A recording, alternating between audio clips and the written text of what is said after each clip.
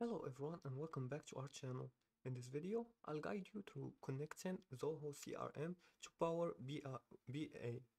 This integration lets you visualize and analyze your CRM data with ease. So let's get started.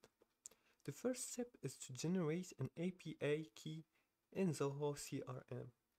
First, you have to log in to Zoho CRM account. And to do that, just go to your web browser and search for CRM. After the website appears, enter your account's credentials and log in. Once logged in, go to the settings in the gear icon here and search for API here and click on it. Now create and copy an API key that will allow Power BI to access your data securely. The second step is to open Power BI and set up the connector.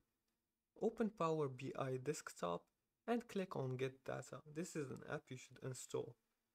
Now in the data source, let's uh, search for it, Power BI.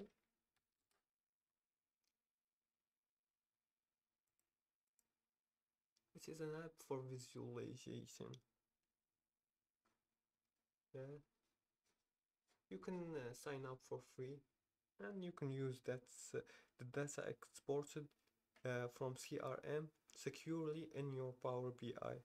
Now for the second step, in the data source options, search for Zoho CRM or use a third-party connector if Zoho CRM doesn't appear di directly. Now for the third step is to authenticate and import data. Enter your Zoho CRM credentials and API key when prompted. After that, select the modules like leads, contacts, or deals you want to import and click load to bring the data into Power BI. And that's it. Now you can analyze your Zoho CRM data with Power BI.